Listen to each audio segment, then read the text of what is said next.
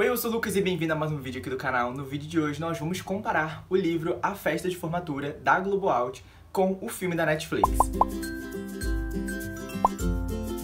Primeiro de tudo, é muito bom deixar avisado de que o livro The Prom, A Festa de Formatura, e o filme The Prom são coisas completamente separadas. As duas produções foram adaptadas do musical da Broadway, né, The Prom. Ou seja, tanto o filme quanto o livro foram adaptadas do mesmo lugar, porém seguiram caminhos diferentes. Por isso que nesse vídeo a gente vai listar aqui mais ou menos umas 20 diferenças é, de uma coisa para outra. O livro é uma adaptação da peça da Broadway, como eu já falei, e vai focar muito mais na Emma e na Alissa. Elas duas estão ali terminando o ensino médio e elas são namoradas, porém escondido. Apenas a Emma realmente é assumida e quando ela se assumiu, ela foi expulsa de casa e foi morar com sua avó.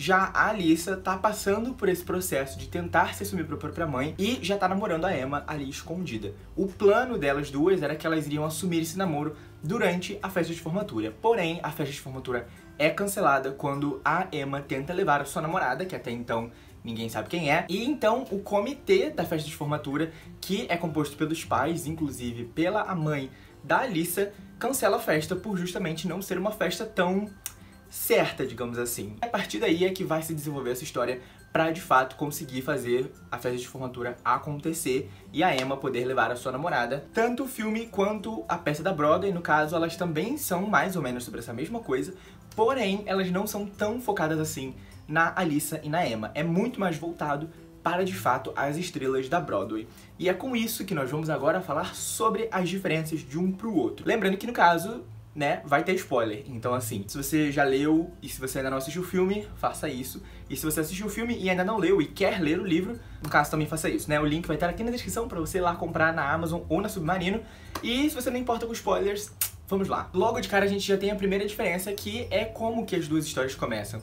O filme já começa, de fato, com o comitê negando a festa de formatura e encerrando tudo, enquanto no livro, primeiro, a gente vai ali conhecer um pouco mais da Alissa e da Emma, aí elas vão conversar um pouquinho, e aí depois é que, de fato, tem essa reunião e que tudo é cancelado. É a mesma coisa também com a questão de como que a gente vai conhecer os personagens, né, da Broadway. No livro, a gente só pega recortes do, do jornal e da crítica falando um pouco sobre a peça, sobre o musical que eles estrearam, que foi um horror, e aí foi basicamente cancelado no dia da estreia. Mas a gente de fato não tem a narração do como que isso aconteceu e nem do que de fato estava rolando lá. No filme, é, a gente de cara já conhece o que estava acontecendo, a gente vê um pouco da premiere ali, né, da estreia, vê um pouco inclusive até da peça, e aí depois é que tem a questão de que vai saindo as críticas, e que inclusive as críticas são muito parecidas com as críticas que aparecem em recortes de jornal do livro. No filme, um dos críticos diz que caso você esteja interessado em assistir o um musical, é muito melhor você comprar uma corda e se enforcar, porque vai ser uma morte muito melhor. E no livro, a, essa crítica que ele faz, na verdade, de que seria muito melhor morrer de tuberculose. Eu não sei qual das duas é mais preocupante, mais pesada. E isso também nos leva para uma outra mudança, que justamente é que no livro não existe o Trent e nem a Andy. Na adaptação da Netflix, a gente conhece esses dois outros personagens que estão junto com o Barry e a Didi, que também são atores de musical que estão flopados, estão apagados na mídia e que também querem ali dar o seu tchan e voltar pro mundo, né, e ficar famoso de novo. E logo também, no início do filme, a gente já descobre que isso é um golpe publicitário.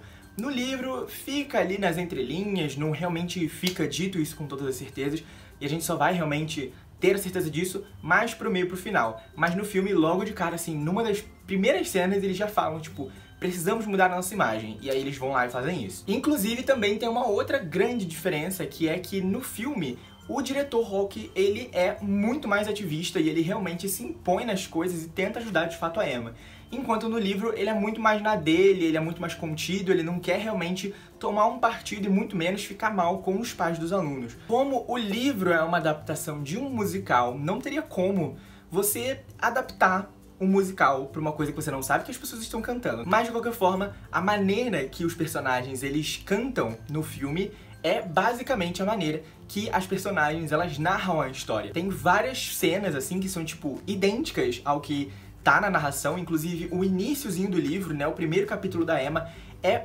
basicamente a primeira música que ela canta. Logo nessa primeira cena também a gente vê uma pequena diferença que assim, é quase imperceptível, que é que a Alissa no filme, ela é líder, enquanto no livro isso não é muito mencionado, inclusive nem no livro e nem no filme realmente isso tem uma, um desenvolvimento em si, ela só aparece com roupa de líder e depois acabou. No livro, a forma que de fato vai ter essa segunda reunião com os pais e para tentar realmente fazer a festa de formatura acontecer, essa reunião só vai acontecer depois que a trupe lá da Broadway chega na escola e faz o protesto. E aí é que de fato eles, né, vão ali conversar e realmente falar assim: "OK, vamos fazer uma reunião". E aí a reunião acontece.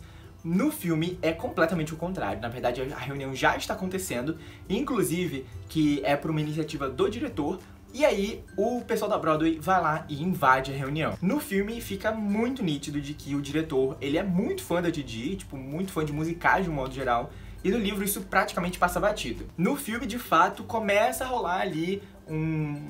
uma coisinha entre eles, e no livro isso também não acontece. A música que a Emma e a Alyssa cantam, que é a Just Wanna Dance, é, é, muito parecida com a música que a Emma vai colocar no YouTube, né, como uma forma de protesto. Porém, no filme tem algumas outras estrofes, inclusive tem a parte que a Alissa tá cantando, enquanto no livro, de fato, é só a Emma. No livro, a música que a Emma coloca no YouTube é justamente essa que ela fala, Just Wanna Dance, nananana, e no filme é uma outra música completamente diferente. Inclusive, essa cena é bem bonitinha, eu gostei muito dessa cena também. E isso nos leva para um outro ponto que é diferente, porque no livro a Emma, ela já é uma youtuber, ela já grava alguns vídeos há um tempo, justamente, falando sobre essa questão dela ser lésbica e tudo mais, e ela já tem uma certa base de fãs quando ela vai soltar esse vídeo. Então, no livro, apenas é mencionado que o Barry e a Didi, eles fizeram lá uma performance naquele show lá de carros do que estava acontecendo. No filme, de fato, a gente vê isso acontecendo, a gente entende realmente o que aconteceu e toda a catástrofe que foi. Justamente porque o livro ele é narrado no ponto de vista da Emma e da Alissa. E como nenhuma das duas estava lá naquele momento para presenciar, a gente realmente não sabe o que aconteceu de fato. E outro ponto que também parece ser bastante nesse mesmo sentido de que nenhuma das duas estava presente para presenciar essa cena é a Nan, que é a avó da Emma, falando sobre o passado dela pro Barry. No livro, como a gente conhece a história no ponto de vista da Emma, ela mesma nos fala que ela foi expulsa de casa e foi morar com a avó. No filme, quem conta isso pro Barry justamente é a avó dela. E é muito bonitinha essa cena também. Isso daí também destrincha pra uma outra diferença, que é justamente que no filme o Barry e a Emma, eles vão pro shopping comprar roupa para o baile de formatura. E já no livro, a Emma, ela fica em casa e é o Barry que leva várias roupas para casa dela e aí ela fica lá provando roupa e mostrando para eles. E também essa mesma perspectiva de se preparando para o baile de formatura é diferente no lado da Alissa também que justamente é bastante parecido com o livro até o momento em que ela termina de se arrumar e vai pra festa. No filme, depois que ela termina de se arrumar, ela já meio que corta e tá dentro do baile de formatura junto com a mãe dela. Já no livro, a gente vê que, na verdade, isso tudo foi um esquema organizado com a mãe e as amigas dela, né, amigas, digamos assim, que elas roubam o celular dela e ela vai escondido para esse outro baile de formatura que está acontecendo. No caso, as amigas dela acabam sendo cúmplices e ela realmente é enganada para ir para esse outro lugar. O que também diretamente nos leva ao próximo ponto de diferenças, porque como eu falei, no filme ela tá com seu celular, enquanto no livro ela não está. Então a Emma, ela fica no baile de formatura lá sozinha, sem realmente saber de nada do que tá acontecendo e ela nem consegue ligar para Alissa.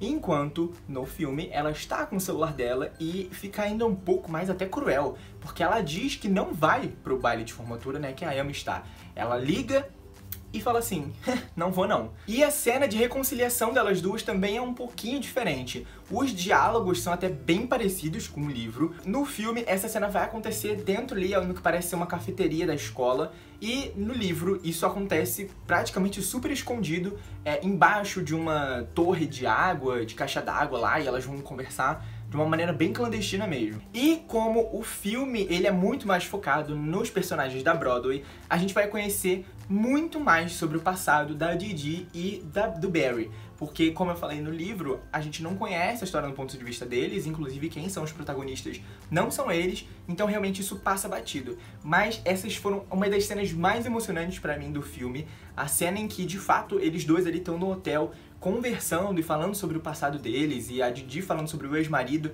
e o Barry falando sobre o relacionamento dele com os pais, é tipo super emocionante. E isso só é mencionado muito rapidamente no livro. E como eu já tinha comentado também, que no livro o Barry e o Trent, eles são praticamente né, o mesmo personagem, né? É, no filme, quem vai ter o diálogo ali com as pessoas da escola e com os alunos é o Trent, enquanto no livro isso é feito pelo Barry, justamente porque ele é o único personagem que tem. Outro ponto também que é bastante diferente é que quem doa para o baile de formatura no livro é basicamente a Didi. Ela é que vai lá e doa até bastante dinheiro para realmente ela ter esse ato de redenção dela, né, de realmente mostrar que ela se importa com outras pessoas.